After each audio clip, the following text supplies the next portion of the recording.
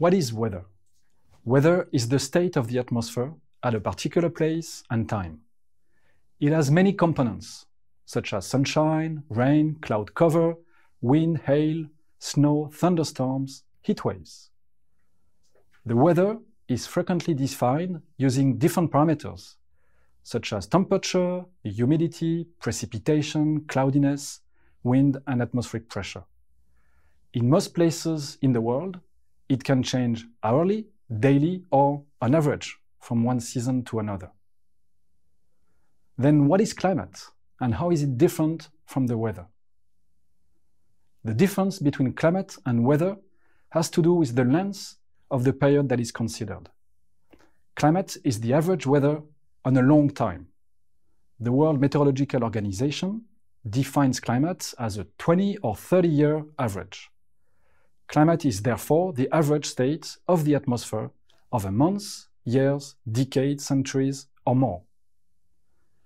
As you experiment in this session, climate is mainly shaped by latitude, because this determines the amount of energy received from the sun.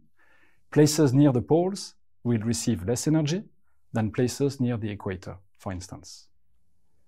Other factors also shape the climate, such as elevation, topography, distance to a large water body, like an ocean or a lake, and location on a continent, east or west, for example.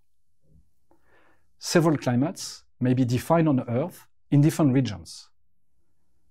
This classification, for instance, defines five main climate types tropical, dry, temperate, continental, and polar. It is tempting to explain the continental climate of New York, with strong cold winters and warm summers, by its location and the energy it receives from the sun.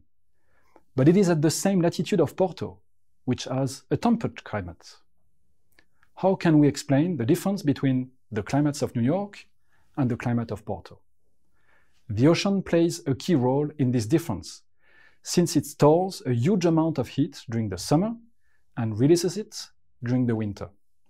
Because Porto is influenced by winds coming from the ocean, it is warmer in the winter than New York. New York receives winds from the west to the east, coming from the land, and not from the ocean. Thus, the oceanic influence is less important. This is why the seasons are more extreme in New York. What about climate change and snowstorms? Snowstorms are a meteorological phenomenon. A particularly cold winter does not question climate change.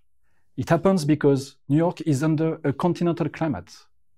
In fact, according to some studies, snowstorms may become more intense and more frequent because of climate change.